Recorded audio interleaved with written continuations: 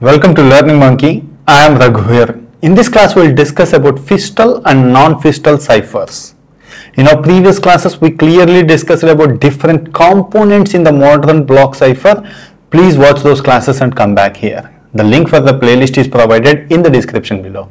Coming to today's class, uh, non-Feistel ciphers. First, we are going to understand non-Feistel ciphers. Non-Feistel ciphers uses only invertible components in our last class discussions uh, S box you can do invertible and non-invertible. P box invertible and non-invertible.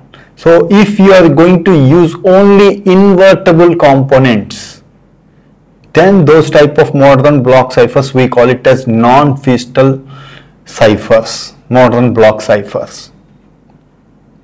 So in, in, in our coming classes when we discuss about uh, AES advanced encryption standard. It is going to use non-Feistel ciphers. Means only it is going to use the components that is uh, that are invertible components. It is very very easy. If you are if the component is invertible during the encryption you go few steps uh, during the decryption you are going to do the exact opposite steps to get the plain text so how we are going to provide confusion and diffusion discussed in our previous classes.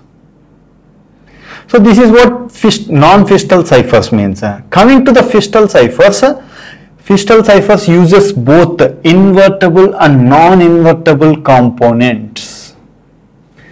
So here it is the difficulty you need to understand. The immediately whenever you listen to this point, uh, the first question you will get in your mind is how non-invertible components are converted during the decryption. That is the point we need to understand in Feistel ciphers. In our coming classes when we discuss about DES data encryption standard, we are going to use Feistel ciphers. So in this class we are going to understand, give a good idea about how Feistel ciphers work, what's the logic it is going to use in our next class, we will go deep into the concept and in our coming classes when we discuss DES with good example, you will get full clarity about Feistel cipher. All these are continuation classes. So here we are going to use non-invertible components. So using non-invertible components, how you are going to get the plain text back?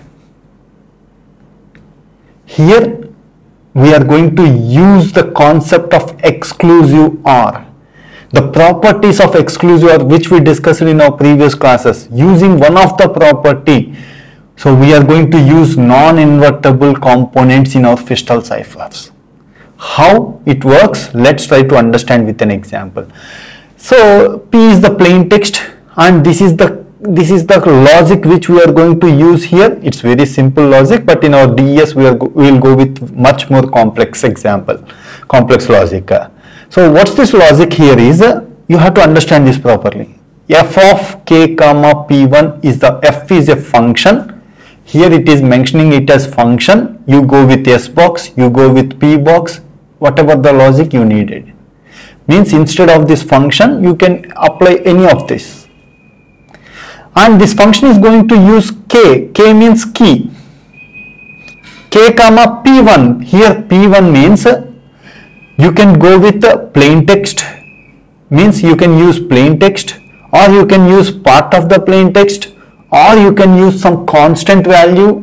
Whatever the logic you needed you can design your own logic this f of k comma p1 is a non-invertible component. This function is generating a value which is non-invertible. Okay, this f of k comma p1 is generating a value. Assume that our value is x. So what's happening here? plain text exclusive or with x. X is a x is a value which from where we got that value? F of k comma p1 after applying this function you got x value. It is exclusive or with p. You are going to get cipher text. This is the logic which we are going to use in encryption. So the point you need to know if you are going with decryption what happens cipher text comes here. This is the source mobile this is the destination mobile. Cipher text comes here. This ciphertext moves onto here. Here also here we are providing again. Ciphertext exclusive or with again f of k comma p1 what happens if you apply f of k comma p1 you are going to get a value of x. So ciphertext exclusive or x you are going to get plain text again so why we are getting plain text again? Because f of k comma p1 is generating a decrypt non-invertible component.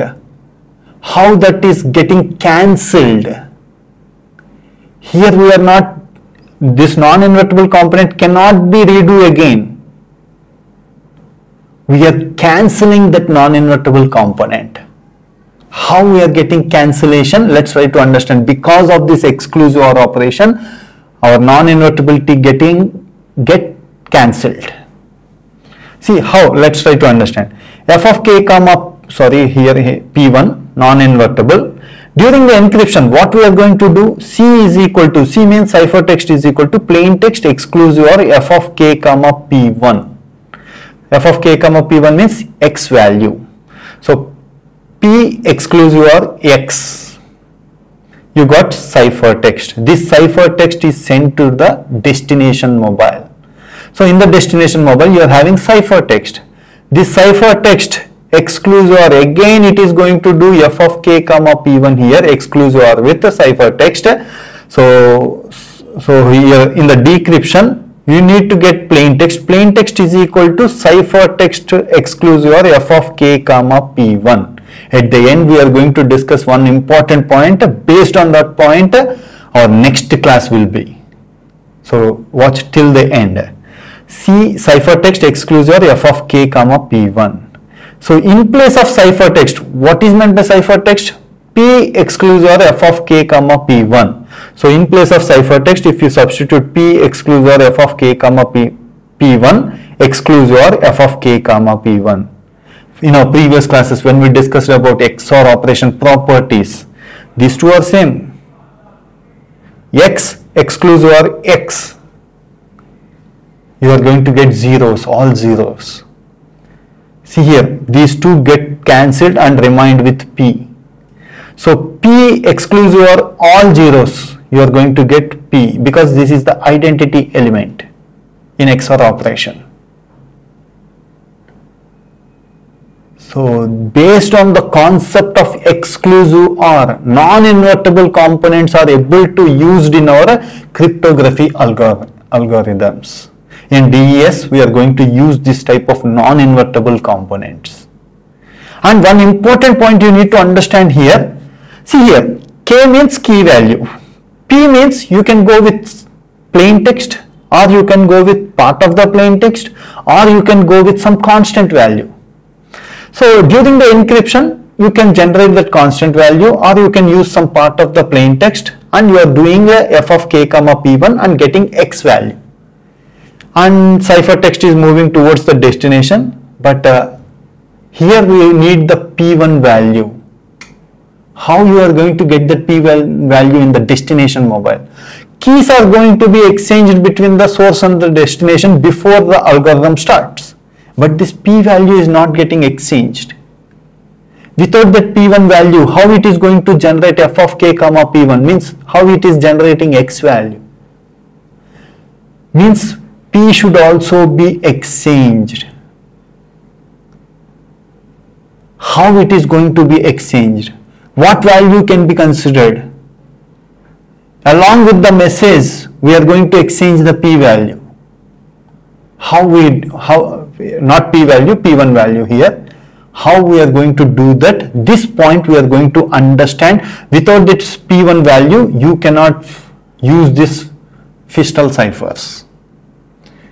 How this is done, we are going to discuss in our next class. Hope you understand the point uh, what's needed here.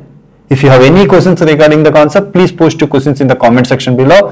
Thanks for watching. If you haven't subscribed to our channel, please subscribe to our channel and press bell icon for the latest updates. Thank you.